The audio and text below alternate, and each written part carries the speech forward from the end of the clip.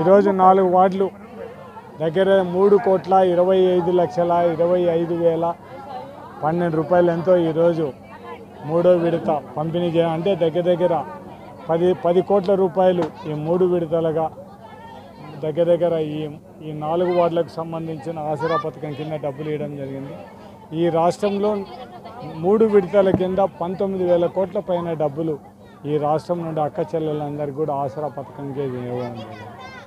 ఈ రాష్ట్ర ముఖ్యమంత్రి జగన్మోహన్ రెడ్డి గారు వచ్చిన తర్వాత ఈ రాష్ట్రంలోని మహిళలకు అందరికీ కూడా రెండు లక్షల కోట్ల రూపాయలు అమ్మఒడి కానీ ఇంకొకటి కానీ ఆసర కానీ చెయ్యూత కానీ జగనన్న తోడు కానీ విద్యా దీవెన కానీ వసదీవెన ఇవన్నీ కూడా మొత్తం దగ్గర దగ్గర చాలా వరకు మహిళల పెట్టిన వేయడం జరిగింది.